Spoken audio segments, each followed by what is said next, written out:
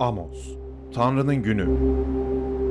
Post apokaliptik teriminin ortaya çıkışı ve günümüze olan yolculuğuna başlıyoruz.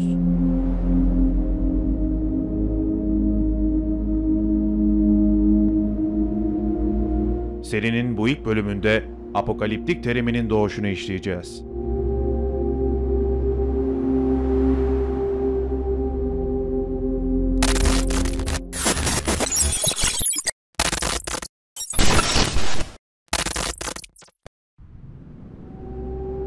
Apokalips, din kitaplarında adı geçen ve günümüze kadar evrimleşerek gelen kutsal kitaplarda vahiy ve örtü manasına gelen ve Türkçe'de kıyamet olarak karşılık bulan o malum terim. Din edebiyatında da tematik olarak özel anlamlarda da kullanılmıştır. İlk olarak antik çağlarda Asur ve Babil'in yaratılış hikayesi ve Gılgamış destanı gibi mitlerde kıyamet fikrini görüyoruz.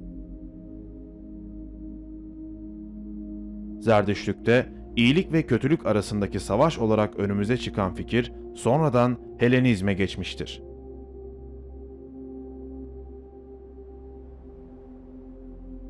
Semavi dinlerde kıyametin tanımı yapılmıştır. Ancak bu kısımda önemli bir detay var. Apokalips kelimesi bizim dinimizde adı geçen kıyamet kelimesi anlamına gelmemektedir. Kıyamet gibi tüm kainatın yok olmasından ziyade kitlesel yok oluşları tanımlıyor demek daha doğru olur. Bu serimizde tarihte yaşanan apokaliptik olayları inceleyerek günümüzde yaşanması beklenen kıtlık, kuraklık, depremler, küresel ısınma gibi durumlara farkındalık yaratacağız. Hazırsanız yolculuğumuza başlayalım. İsrail'in Kuzey Krallığı'nın yok olacağını doğru bir şekilde önceden bildiren ve bir kıyamet peygamberi olarak daha sonra eski ahit peygamberleri hakkında tahminlerde bulunan birinden bahsedeceğiz. Amos Tanrı'nın günü Tanah ya da İbrani kutsal kitabı veya mikro olarak bilinen Yahudi kaynaklarında küçük peygamberler olarak belirtilen kısımda adı geçen 12 peygamber bilinmektedir. Bu 12 peygamber şu şekilde anlatılmaktadır. Hoşea, Yoel, Amos, Ovadya, Yona, Mika, Nahum, Habakkuk, Sefanya, Yagay, Zekeriya, Malaki. Kronolojik olarak Amos bu peygamberlerin en eskisi sayılmaktadır ve kitabı daha sonraki peygamberlerin kitapları için bir model teşkil etmektedir. Depremler, çekirge istilası ve ateş fırtınası gibi doğal afetlerde İbranilerin ilahi imhasına ilişkin güçlü öngörüleri olan Amos peygamberin hayatı hakkında bilinen çok az şey günümüze kadar ulaşmıştır. Amos, Allah'ın insan üzerindeki mutlak egemenliğinin hem zengin hem de fakir tüm insanlar için sosyal adaleti zorunlu kıldığına inanıyordu. Tanrı'nın seçtiği insanlar bile bu emirden muaf değildi ve onlar bile onu bozmanın cezasını ödemek zorunda kaldılar. Dolayısıyla Amos, milliyetçi çıkarları aşan bir ahlaki düzene de inanıyordu. Yahuda'dan yola çıkarak Beytel'e yaptığı bu yolculuk döneminde her iki krallık da varlığın doruk noktalarındaydı. Yaşadığı dönem muhtemelen Yahuda kralı Azariah, M.Ö. 783-742 ve İsrail kralı 2. Yarovam 786-745 olarak anılan Uziya dönemine denk gelmektedir. Hoşea peygamber ile aynı dönemde yaşadığı söylense de Amos peygamberin ondan önceki dönemlerde yaşadığı tahmin edilmektedir. Amos'un ismi eski ahitte İsrail tarihinin anlatıldığı dönemde geçmektedir. Adına kitabı olan peygamberler içinde ilk olanı Amos peygamberdir ve asıl konumuz olan Apokalips teriminden ilk bahseden kişi de odur.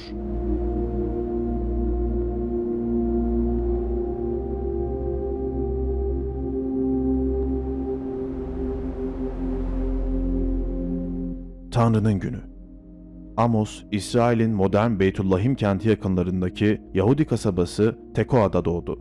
Gençliğinde çobanlıkla uğraşırken bir yandan da bulunduğu bölgede incir yetiştirdiği için çiftçilikle de uğraşıyordu. Günün birinde Beytel'deki Kuzey İsrail topraklarına gitmek için ilahi bir emir aldığını söyleyerek yolculuğuna başladı. Kuzey İsrail o dönem 2. Yaravam tarafından yönetilmekteydi. Yaravam, Joaş'ın oğlu ve Kuzey İsrail Krallığı'nın 14. kralıydı. Çok önemli zaferler kazanan bu kralın en önemli başarılarından biri Suriyelilere karşı kazandığı zaferler oldu. Suriyelilere karşı kazanılan bu zaferler ülkeyi eski sınırlarına kavuşturmuştu. Ayrıca Yaravam, Levo Hamad'dan Arava Gölü'ne kadar İsrail topraklarını yeniden ele geçirdi ve ülkeyi, topraklarını genişletti. Yapılan arkeolojik kazılar bu dönemin İsrail'in en varlıklı dönemi olduğunu gösteriyor. İsrail o dönem 350 bin kişilik nüfusuyla en yoğun yerleşim birimlerine sahne olmuştur. Ülkenin kalkınmasındaki etkenler sadece savaşlar da değildi. Mısır ve Asurlarla yapılan zeytinyağı, şarap ve muhtemelen at ticareti de bu gelişimde büyük katkı sağlamıştı. Hoşea peygamber, Joel peygamber, Jona peygamber ve hatta Yunus peygamber de bu kralın döneminde yaşamış diğer peygamberlerdir. Amos da diğer peygamberlerle aynı dönemde bu bölgede yaşamıştır ve ortak fikirleri bu topraklarda o zamana kadar yaşamış en kötü kralın ikinci Yarovam olduğudur. Kazandığı zaferler ve diğer ülkelerle yapılan ticaretler sonucu servetine servet katan bu kral günden güne duygusuzlaşarak bencilliği ve kibriyle yaşamaya başladı. Tanrı'nın buyurduğu dini hiçe sayarak halkın tekrar puta tapmalarına izin verdi. Altın boğa heykeline tapınmak o dönemki ibadetlerden biriydi.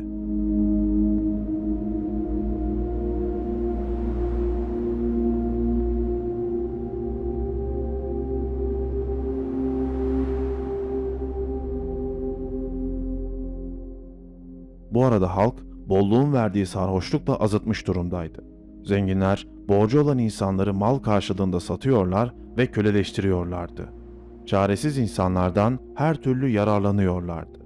Fakirlere baskının yapıldığı bu şehirde erkekler kadınlarını ahlaksızca kullanıyordu. Cinsellik, sapkınlık derecesinde artmıştı. Halk değerlerini bırakıp açgözlü olmaya başlamıştı. Varlıklı elit tabaka başkalarının sırtından zenginleşiyordu. Çiftçiler geçinmeleri için gerekli olan ürünlerden ziyade başta şarap ve yağ olmak üzere dış ticaret için karlı olan ürünleri yetiştirmeye zorlanıyordu. Amos, insanların düştüğü bu durum karşısında İsrail'in günahlarından dolayı yargılanacağını ve bu yargının yabancı bir ulus tarafından harekete geçirilebileceğini söyledi. Ve işte sürekli ağızlarda dolanan o popüler terim bu şekilde ortaya çıktı.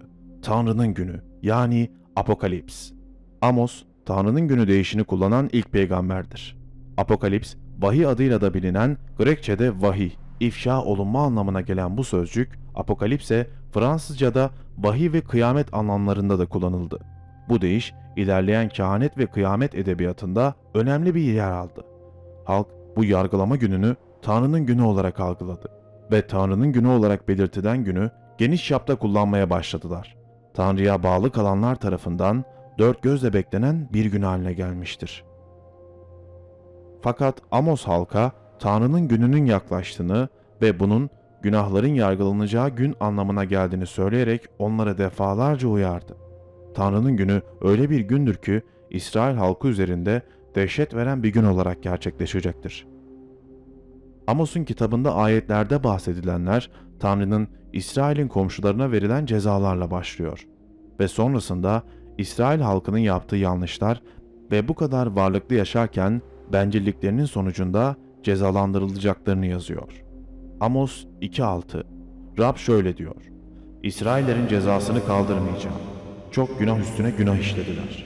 Doğruyu para için, yoksulu bir çift çarık için sattılar. Bu ayetle Tanrı Amos'a İsrail halkına vereceği cezanın kaçınılmaz olduğunu söylüyor. Amos 3.1.2 Ey İsrailliler! Kulak verin. Rabbin size Mısır'dan çıkardığı halka söylediği şu sözlerle. Yeryüzündeki bütün halklar arasından yalnız sizi tanıdım. Bu yüzden suçlarınızı karşılıksız bırakmayacağım. Allah'ın yaptığı bu uyarılara kulak asmayan İsrail halkı ve kralları azgınlıklarına devam ediyorlar. Devamında son bir kez tövbe etmeye çağrılan halk uyarılıyor. Amos 5.1 Ey İsrail halkı! Kulak ver! Üzerinize yakacağım ağıtın sözlerine. Ve işte günümüze kadar gelen o popüler sözün gelip çattığı an tam da bu kısımda söyleniyor. Amos 5.18 Vay başına Tanrı'nın gününü özlemle bekleyenlerin. ne için özlüyorsunuz Tanrı'nın gününü? O gün aydınlık değil, karanlık olacak. İşte bu ayetten sonra fil dişi süslü yataklarında keyif çatarak yatan ve bencilce kötülüklerine devam ederek halka zulmedenlerin başına gelecekleri sıralanıyor. Amos 5.14 İşte bu yüzden ey İsrail halkı üzerinize bir ulus göndereceğim diyor ve her şeye rağmen egemen Tanrı Rab Levo Hamat'tan Arava Vadisi'ne kadar ezecekler sizi. Büyük bir ulusun ortaya çıkarak İsrail halkını bozguna uğratacağının haberi bu kısımda verilmiş oluyor. Bu ayetten 40 yıl sonra Asır İmparatorluğu saldırarak İsrail'i bozguna uğrattı ve Amos'un söylediği her şey gerçekleşti.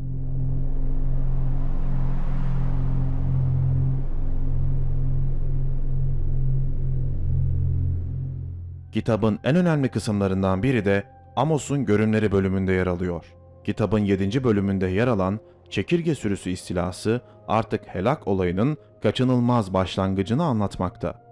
Ülkede kralın payı olan ekinlerin hasadı geldiği dönemde çekirge sürüleri ortaya çıkıyor ve tüm ekinleri helak ederek ülkeyi kıtlığa sürüklüyor. Ardından da kara dumanlı gökten yağan ateş ve Amos'un uyardığı gibi gelen depremle Beytüel'deki tapınakların sütunları devriliyor. Bu yaşanan olayla İsrail kralları ve taptıkları putların sonu gelmiş oluyor.